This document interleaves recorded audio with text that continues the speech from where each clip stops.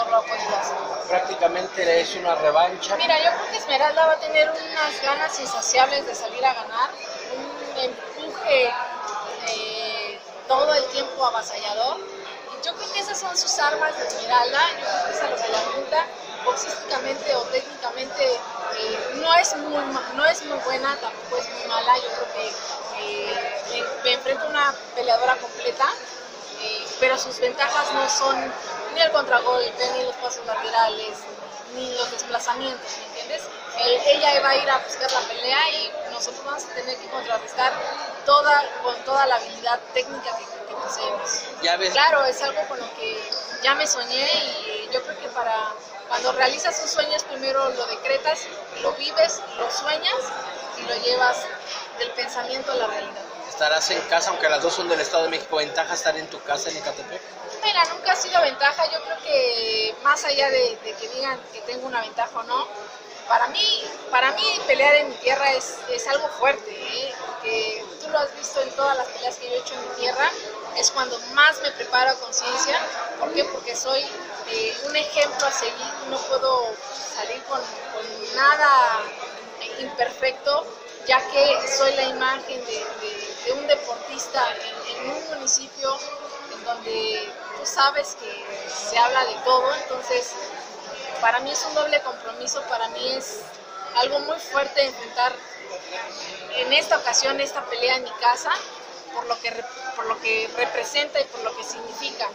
Eh, de verdad que yo lo hago con toda la convicción de honrar no solo a mi municipio, de honrar al Estado de México, de honrar a mi país, eh, pero es algo fuerte para mí estar disputando esta final en mi tierra. En tu casa y con tu gente. Es, eso que ni que es, es algo que siempre he dicho.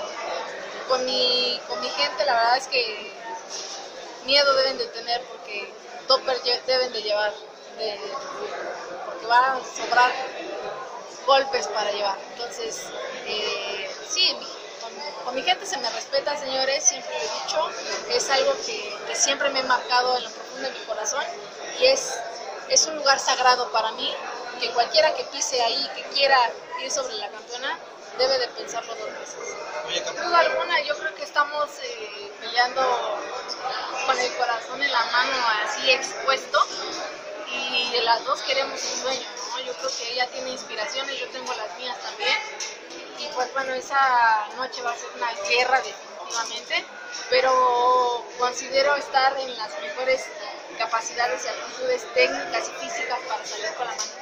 Es- Y aparte yo soy una dama totalmente educada que la educación me la enseñaron desde muy pequeña, tengo la convicción de, de manos y realmente dar cariño a la gente, eh, pero en ese momento pues todo se te olvida, ¿no? Porque te estás disfrutando, no digo la vida, porque al final del día te preparas para, para dar lo mejor de ti, pero sí disfrutas algo muy fuerte, entonces todos los sentimientos se quedan debajo de ti. La amistad seguirá después de la pelea. Sin duda alguna, te lo repito, yo soy una dama, soy una mujer que, que es cabal, que nunca me atrevo a saludar a alguien si no me nace saludarlo, no me atrevo a hablarle a alguien si no me nace hablarle, y a Esmeralda le tengo un gran cariño y eso es algo que seguirá intacto en, en- el momento en el que termine la pelea.